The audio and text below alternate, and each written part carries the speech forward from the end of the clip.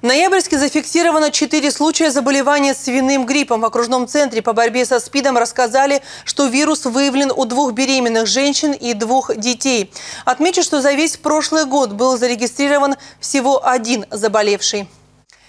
Завтра на незапланированные каникулы уйдут ученики одного из классов 13-й школы. Количество заболевших ОРВИ и гриппом превысило допустимый порог. С субботы по этой же причине учебный процесс приостановлен в 14-й школе, а с пятницы на карантине и один из классов первой гимназии.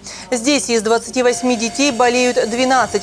Но пока школьники сидят дома, в учебных заведениях проводятся профилактические мероприятия. В кабинете первого Б-класса и в других кабинетах обязательно проходят дезинфекционные э, мероприятия для того, чтобы ситуация была под контролем.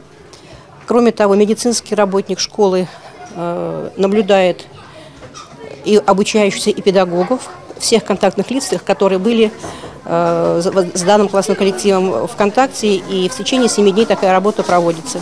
Кроме того, обязательно режим проветривания помещений – поэтому надеемся, что остальных детей мы все-таки